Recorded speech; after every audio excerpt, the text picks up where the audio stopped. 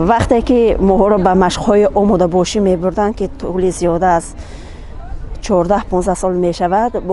ба кӯҳсоро мебурданд. Нишон гир дар ҷойҳои кӯҳсор бештар дар ҷойҳое ки одам дар он ҷо камтар аст мебурданд барои машқҳои омӯзишӣ. Дар он ҷо сала каме мушкилтар буд барои гирифтани нишон. Вақте ки ба толорҳо ворид мешудем ки нишонҳои асосӣ аст моро эҳсосоти баланд мегирифт ки мо бояд ки нишони асосӣ ба рақами даҳ бояд. Яъне ки миёнаҷое ки дар он ҷо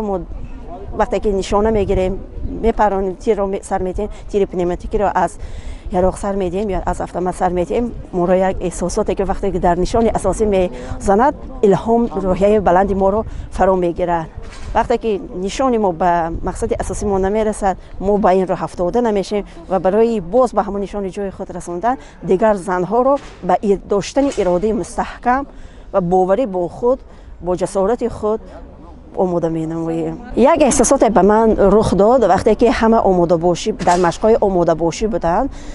мардҳо ман мерафтам ҳамчун муовини раиси ноҳия. Гарчанд ки ҷинсам ҷинси зан буд маро дар сафи мардҳо қабул намекарданд онҳо ин қадар яъне ки иродаи баланде надоштанд ки мисол занҳо дар баробари мардҳо тир парронда метавонистанд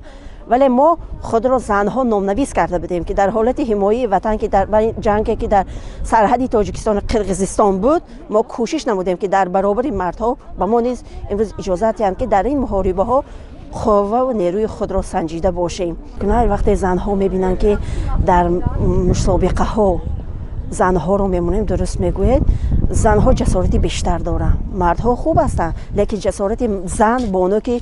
бисёр бори вазнини зиндагӣ бар дӯши ӯст ҳам зиндагӣ ҳам кори давлат ҳам оилаи ӯ дар дасташ ҳаст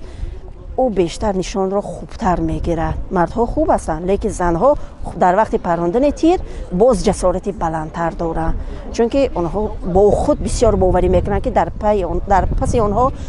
дар баробари оилаву фарзандонашон давлату миллати худро ҳимоя карданашон дар кор аст чунки дар қисми сафарбарӣ якум мардҳо меистанд дар қафо ки бонувон меистанд дар қисмати қафо яъне ки пастаранда меистанд ба ин хотир онҳо ба иродаи худ бештар боварӣ доранд ва кӯшиш менамоянд ки дар ақибгоҳ ҳам бошанд зарраям бошад ҳиссии худро барои ҳимояи марзу буми ватан